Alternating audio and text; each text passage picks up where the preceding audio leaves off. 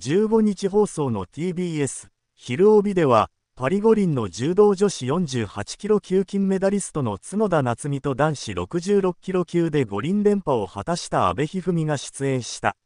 写真、足の指で挟む、角田の巴投げ、決定的瞬間。この中で、角田は柔道経験者の TBS スタッフを相手に得意の巴投げを実演披露したが、その中で驚きの秘技を見せた。それは巴投げをする際に長い足の指で相手の道着をつかむ、というもの。足の指で道着をつかむことで、巴投げがより成功しやすくなるという。この秘技について角田は、男性選手と柔術をやっていると腕の力だけではかなわないので、足の指を使うことを思いついたと明かした。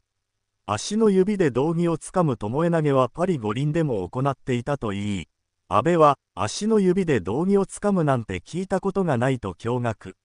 また60キロ級で五輪3連覇を果たした野村忠宏氏も、